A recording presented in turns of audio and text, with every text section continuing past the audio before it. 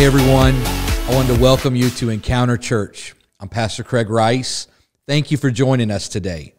I hope that this message inspires you, encourages you, and transforms you. Hey, what's going on, Encounter family? I'm Pastor Craig. I'm the lead pastor here at Encounter Church, and I can't wait to share this message with you. Let's go ahead and lean in. I've got a great word for you for the next few moments, and I can't wait to see what God's going to do in you and through you. We're going to go to two books uh, to start off with for my text today. Uh, the first one's going to be in Ephesians, and then the second one's going to be in Philippians.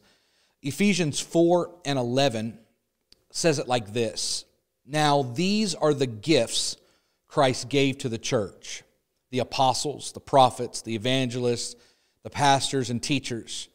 Their responsibility is to equip God's people to do his work and build up the church the body of Christ. This will continue until we all come to such unity in our faith and knowledge of God's Son that we will be mature in the Lord, measuring up to the full and complete standard of Christ. Philippians 2 and 5 in the New King James says it like this Let this mind be in you, which was also in Christ Jesus. And that's where I want to take this title of, of today's message from. And I want to just talk for the next few moments on this. Let this mind be in you. I've often looked at these two verses and really tried to, to dissect them, but it hasn't been till recently that I've kind of had this understanding a little more in depth of what's going on here. Paul says to the book uh, in the book of Ephesians, he says, Hey, uh, we are part of the body of Christ and we are building up God's church. And God gave gifts to the church and so that the church could be built. And then he says the, the reason why is so that we can be mature in the Lord. I don't know about you, but I've, I've encountered a lot of immature Jesus followers. Um, I'll be the first to admit that there's been a lot of moments where I've been an immature uh, Jesus follower. And that's why the Apostle Paul tells the church in Philippi, there in Philippians chapter 2, let this mind be in you like it was in Christ Jesus. And so I want to kind of unpack this today, but I want to begin by saying this I love God's church. And God's church is his plan A, and there is no plan B. The church is always going to be criticized, it's always going to be attacked, that's just part of being a part of the church. However, I want to go on record and say it today and remind you that even though it may be under attack and even though the assault may be strong, the church will never fall. Jesus said it like this I will build my church, and all the powers of hell cannot and will not conquer it. The church, we, you and I, the body of Christ, we are revival makers. We are kingdom builders and we are spiritual fire starters and we are just getting started. I think that a lot of times we aim at getting into heaven. But in 2022, I want to challenge you this way to spend more time this year getting heaven into us. Not so much us getting into heaven, that is a priority. However, may we this year take extra priority to allow heaven to get inside of us. See, the job of the church is not to adopt the culture or merely assess and analyze the culture, but it is to set heaven within the context of culture so that culture can see God at work in the midst of the chaos and conflicts of man. Romans 12 and 2 in the New King James says it like this And do not be conformed to this world, but be transformed by the renewing of your mind, that you may prove what is good and acceptable will of God. So, twice now we have heard this concept of letting the mind of Christ be in you and then renewing the mind.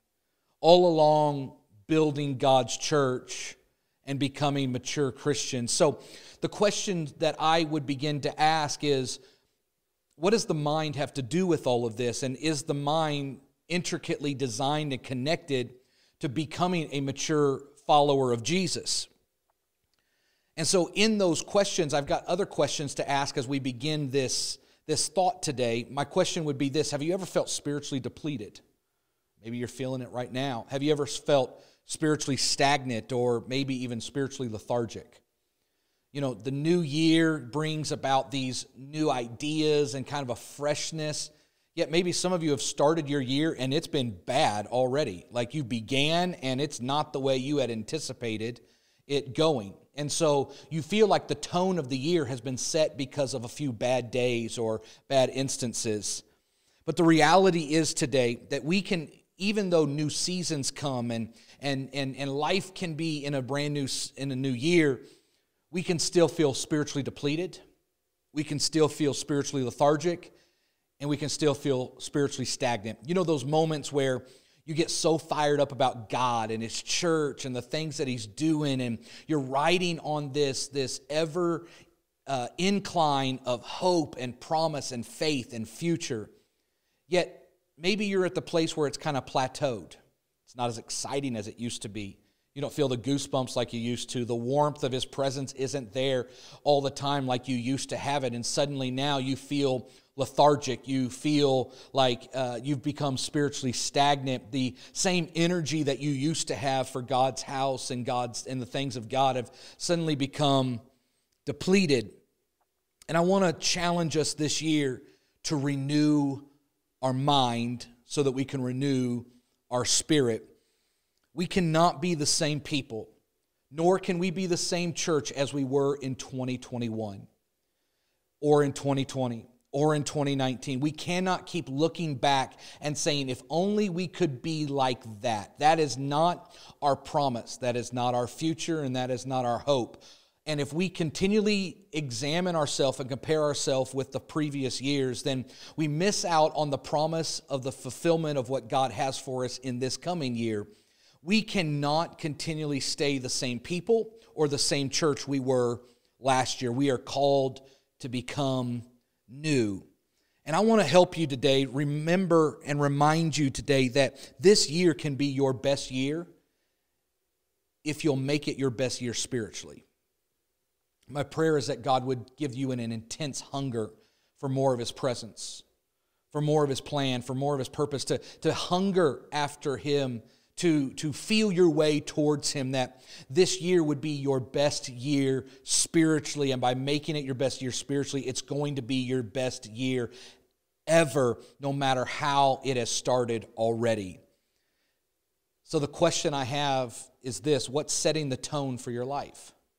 What is it that, that you're allowing to set the tone? Are you allowing the bad days, the, the unfortunate events? Are you allowing the, the circumstances that you've already encountered to set the tone for this year? Or have you allowed the good things, the positive things, the promises of God to set that tone? What is it? Every one of us is allowing something to set the tone of our year. We've often said that we want to live, love, and look like Jesus, but often we wrestle with the how.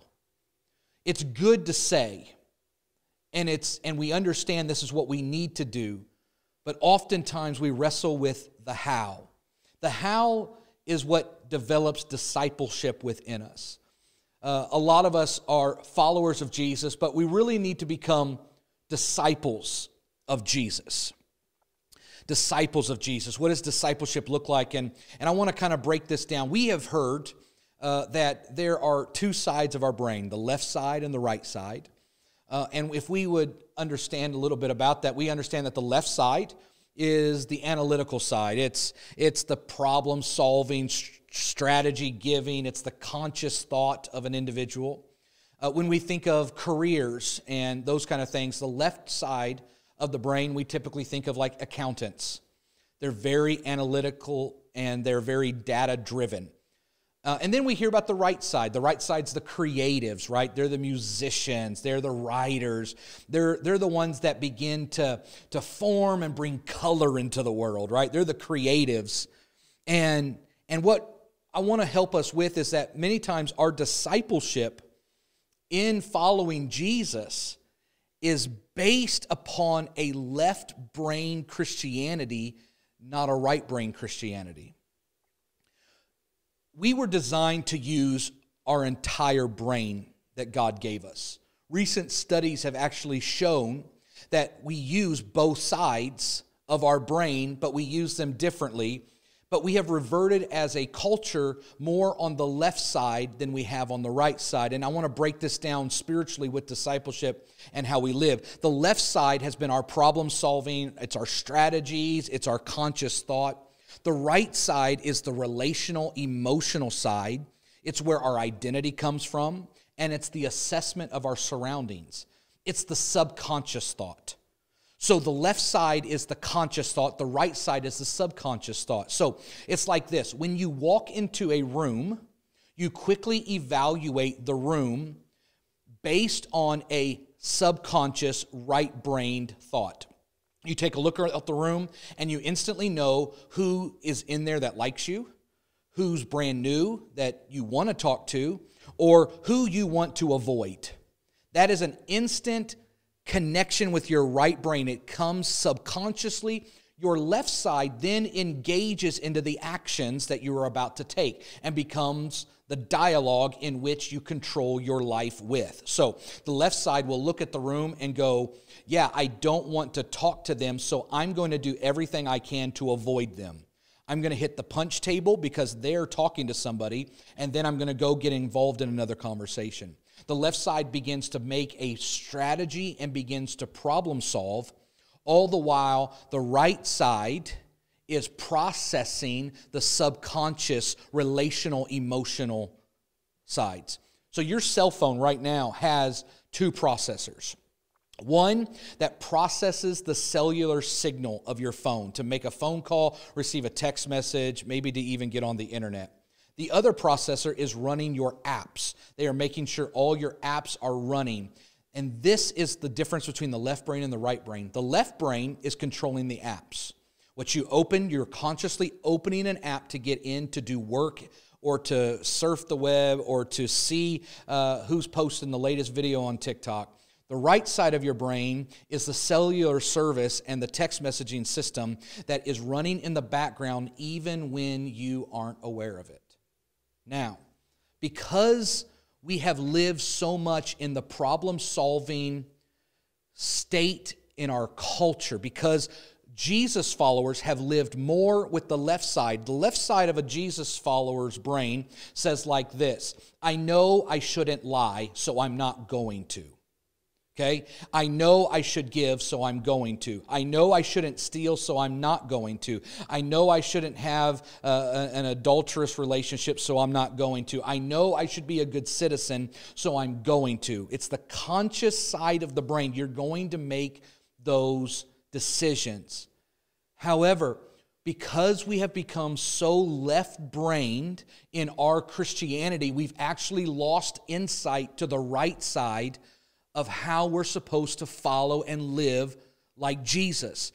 Jesus and the early church did not live based on strategy and, and problem solving uh, with their left side. They focused more on the right side. So when they were approached with a situation, they instantly had a response.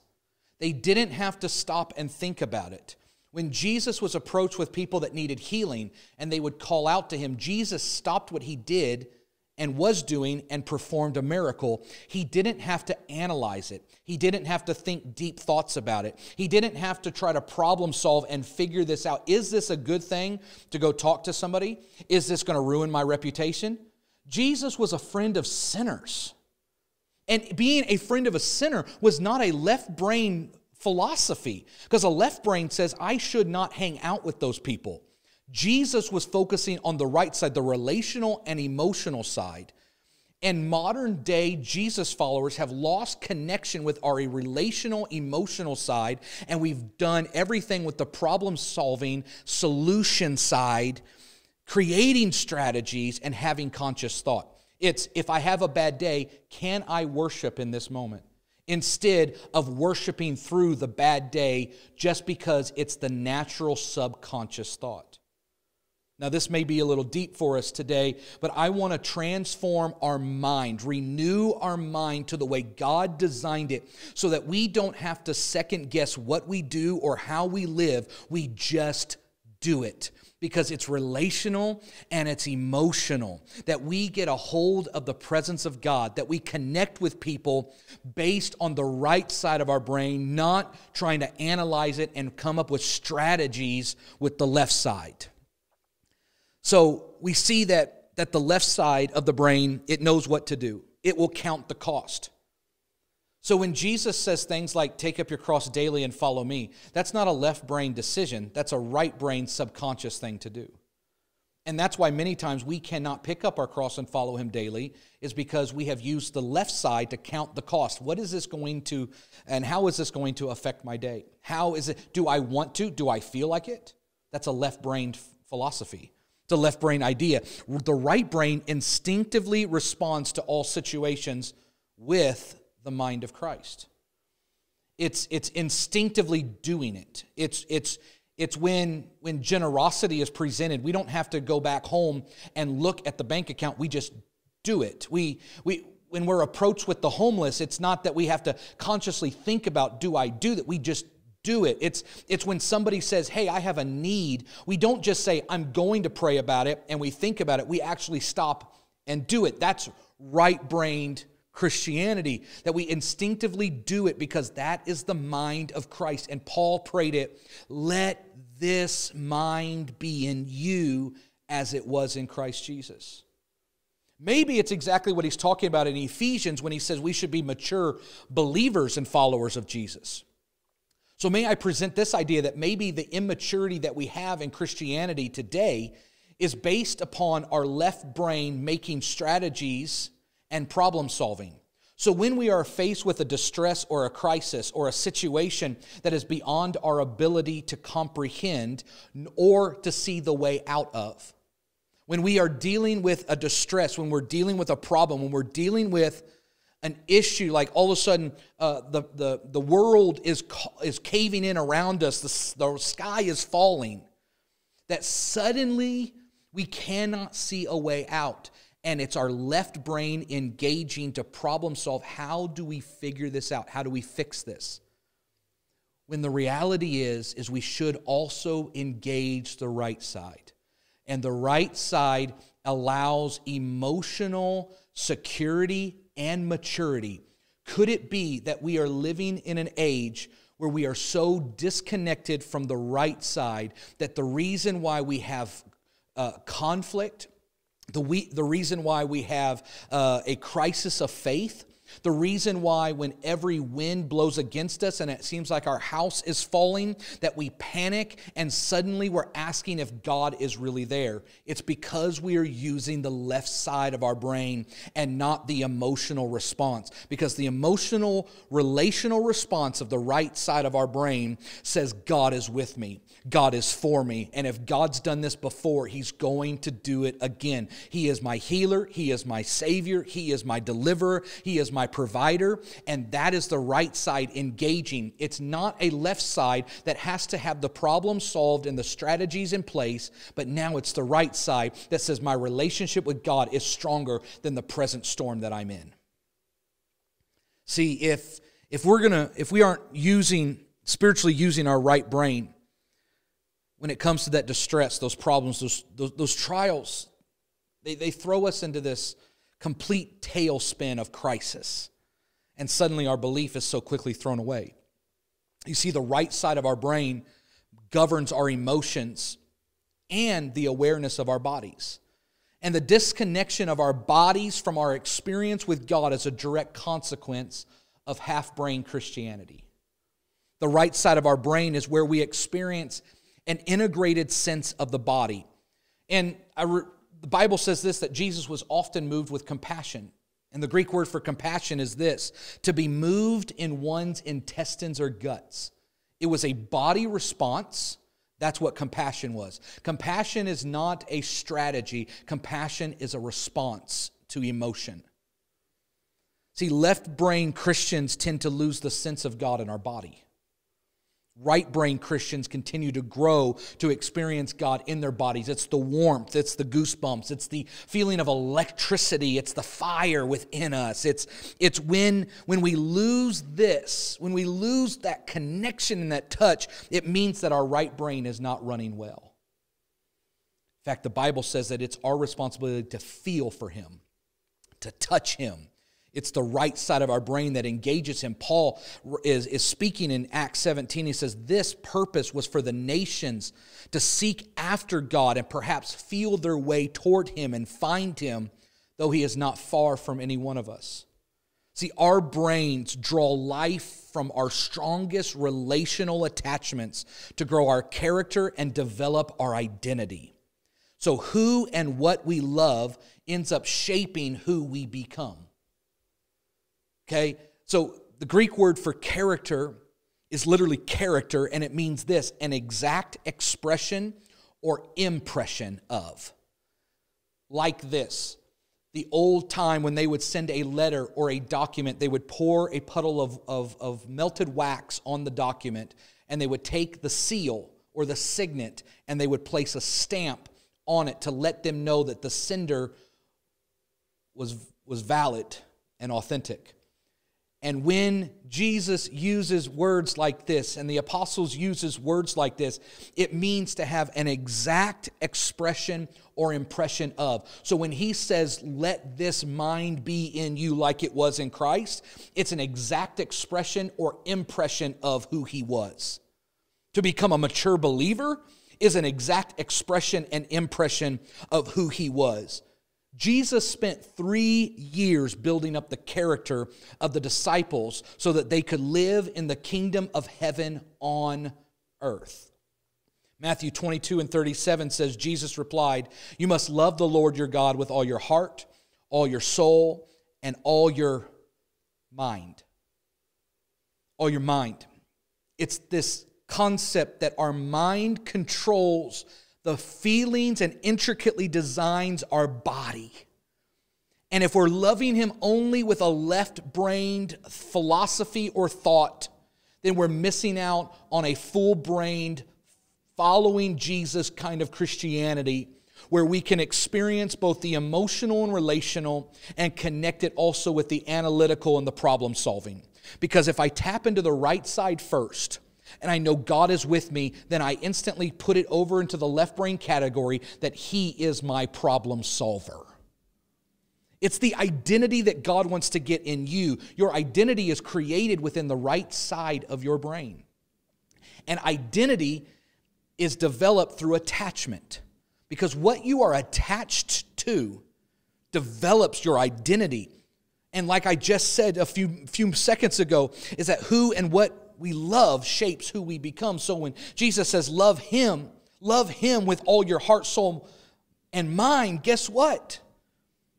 If we love Him, it shapes us into who He wants us to become, and our identity becomes an exact impression and expression of who He is.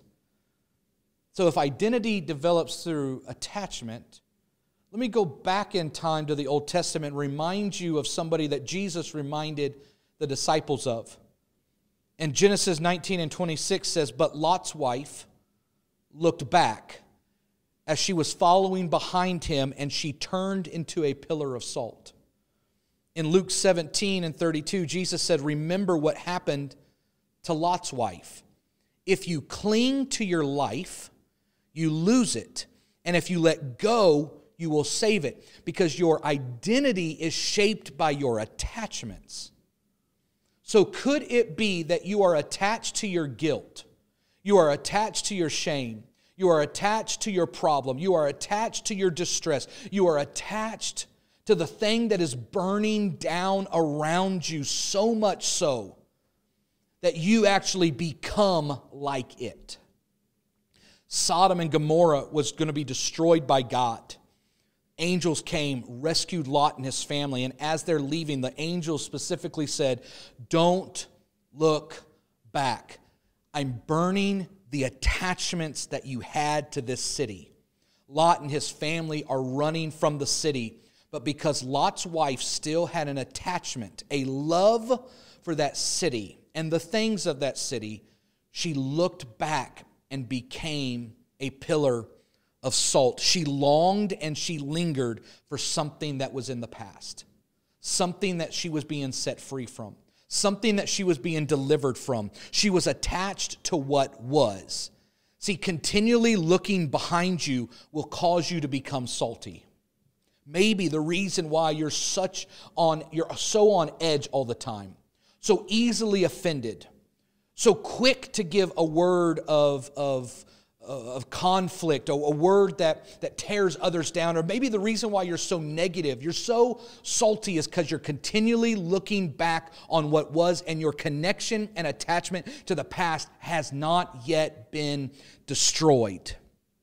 We have to, in 2022, we have to stop longing for what was and start longing for what is and what will be. Jesus said it like this, and, and he's, he's, he's telling these disciples he had already gone to the cross, he had risen, and now he's walking. And he shows up with a few disciples, and this is the conversation that they had as Jesus is walking with them. And the disciples said, We had hoped that he, being Jesus, was the Messiah who has come to rescue Israel. This all happened three days ago. Jesus is standing with them, but they could not see him because they were still so attached to the trauma that they had experienced that they missed that Jesus was standing right with them in this season. They were using a left brained philosophy to problem solve. I saw him die. There is no way he can live again. I saw him buried, and there's no way he could be risen again. The dead do not rise in my analytical left brain thinking, but the right side says that Jesus can rise again. The, the right side says my relationship with him is stronger than the grave, it's stronger than the cross. My right side says I don't want to miss Jesus because I continually look back. I want to challenge you don't miss Jesus this year because you are still attached to the temporary. The left side of the brain was what Lot's wife dealt with in Sodom. The left side of the brain is what these disciples dealt with on the road to Emmaus with Jesus. The right side of the brain says, My relationship, that if he says it, I'm going to do it. I'm going to trust him fully. In fact, Ezekiel 16 and 49 says Sodom sins. You know, this city that was destroyed, this city that God took out, this city that Lot's wife was attached to. Sodom's sins were pride, gluttony, and laziness, while the poor and needy suffered outside her door. Wow.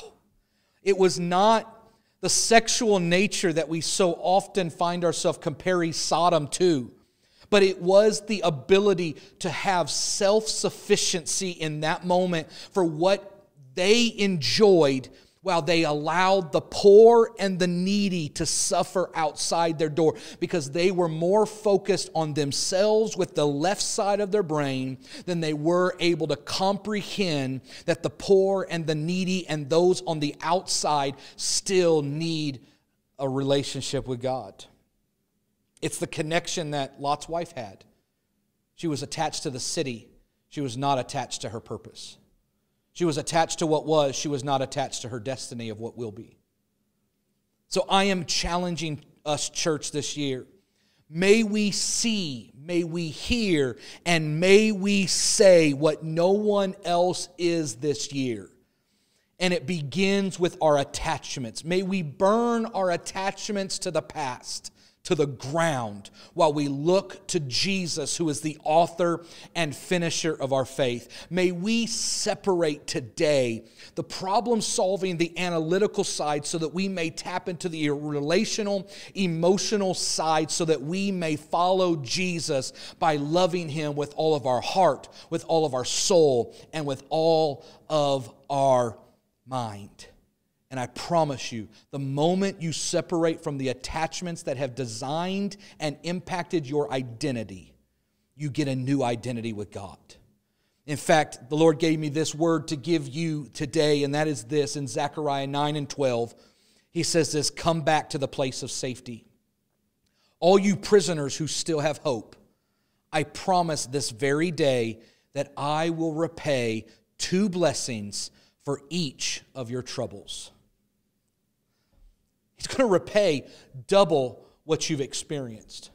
So, why in the world would we maintain our attachments to our troubles when there are two blessings for every one of them that we've experienced? I'm trying to free you today. I want to free you from a left brain theology and enter into a full brain theology where we realize that the emotional, relational connection with God controls every part of our being. We do something every year, and I'm going to encourage you to, to partner with us. We call it our, our future ready offering. And generosity in this kind of aspect doesn't make sense to left brain Christians. But to right brain Christians, it makes all the sense in the world because it's instinctively what we do. And it's an opportunity for us to leave a legacy of who we are for generations to come so that the sins of this culture, the sins of my time, are not laziness and pride and gluttony, but they are opened up and forgiven so that I may focus on the needy and the poor. And our future ready is for evangelism and expansion. Every year we do this offering, we take this. This is above and beyond our tithing. This is an absolute an opportunity for us to give above and beyond. You can go ahead and check it out on our website at encounteridaho.com and you can click give now and there'll be a link for you to give to the future ready offering expansion and growth of our church. May we open our minds to see the revelation that god has for us this year. May our minds be open not just with the left brain but the right brain as well. And my prayer is this today. May this mind be in you as we build god's church together we pray over you. Father, I thank you so much for the words and the challenge that you've given us today. May we take this, build on it. May we formulate thoughts and talks and ideas with our friends and people that we're connected to around this concept. May you unlock the full potential of the brain and the mind that you have created within us. And so today I declare that this mind will be in me this year as it was in you. Today, Father, I'm praying for those that want to make a fresh start. It's a brand new year. It's a great time for them to say yes to you. And so today, I'm asking that for every individual that is questioning their faith, wanting to make a fresh start, that they would simply say this God, I give you my life. I give you my worries. I burn the attachments to my past so that I may have a double blessing in my future. And today, I receive you, I accept you, and I believe that you are my Lord and my Savior and I say yes to making a fresh start with you. In Jesus' name, amen. Hey, I'm praying a blessing over you and your family this year. 2022 is going to be a great year because you're going to make it the best year spiritually. Let's tap into the right side of our brain as we engage the left side, and let's be full brained Christians. May this mind be in you as it was in Christ Jesus. Be blessed. Thank you so much for joining us today. I want to encourage you to take this message you just heard and allow Jesus to transform your soul. Today, our prayer is that you have an amazing week. Thanks for being a part of the Encounter Church family.